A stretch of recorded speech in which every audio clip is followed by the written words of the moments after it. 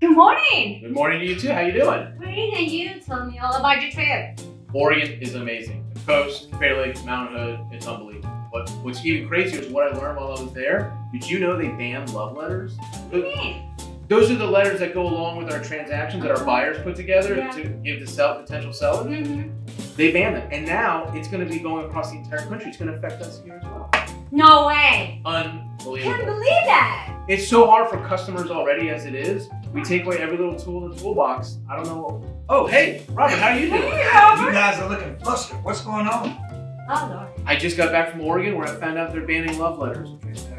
Oh man, I heard about those. That might not be a bad idea, you know. Really? Yes. Okay. Uh, you know, federal law states that you cannot discriminate against the protected classes, and sometimes inadvertently someone may put something in a love letter, such as, "Hey, we're gonna enjoy Chinese New Year in the big living room," or what about a basketball goal at the end of the driveway, and the person says, "Where my five kids can play basketball," and the neighborhood may not have any kids right now.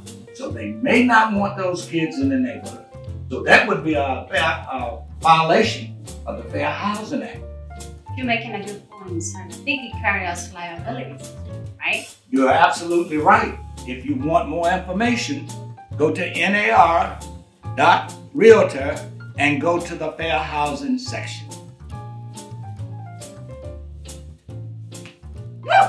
We're done. That was amazing. We were good.